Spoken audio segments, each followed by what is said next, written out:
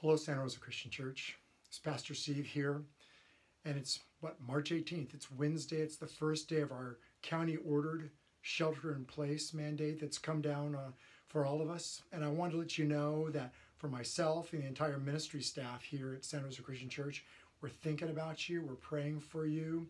And we know that even though we, we can no longer gather on a Sunday morning or even in small groups or in ministry teams, there's still a way for us to stay connected. That even though we can't congregate together, we can still function and be a community together. So I want to just take this moment to let you know, just briefly, ways that we're purposing to do that. So Sunday morning at 10 o'clock, I'll be here and we're going to be doing a live um, feed, video feed that's going to be available for you the details of that video feed will be coming in an email today from Glenn, so you know how to connect with that, whether it be through Facebook or whether it be through YouTube.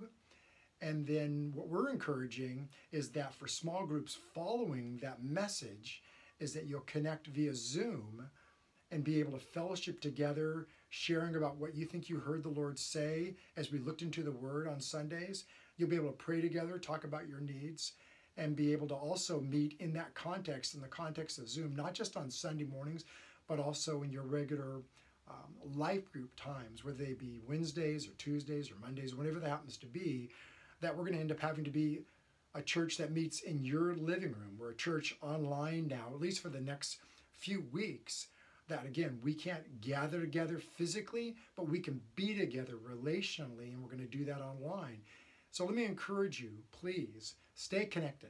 Let me encourage you to call up somebody that that you know that's part of the church family. It might be part of your small group, but it might not be. But as the Lord puts them on your heart, call them, stay connected.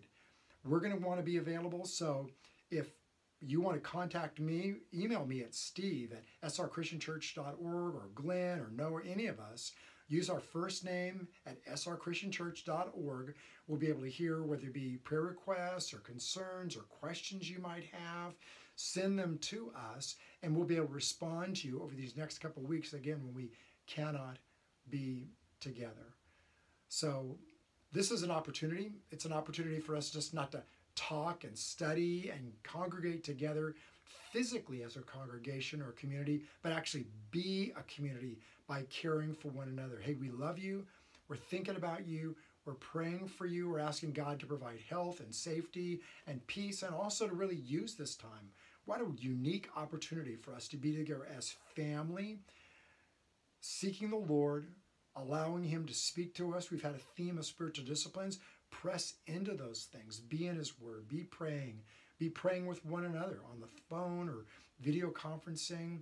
And let's care for one another and let's be amazed because I know that we will be in all that God's really doing. If we're done on April 7th, like they're saying, awesome. That means Easter Sunday, we're going to have an incredible celebration, not just celebrating the resurrection of Jesus Christ, but we're going to be celebrating being together as his people and watching the life of Christ be made manifest as we worship together. So I hope that again, in these days, you're safe, you're finding the Lord, you're strengthening yourself and encouraging one another. I know God has a lot for us, and I'm standing with you in that, along with the entire SRCC ministry team. Hey, we love you. We're praying for you.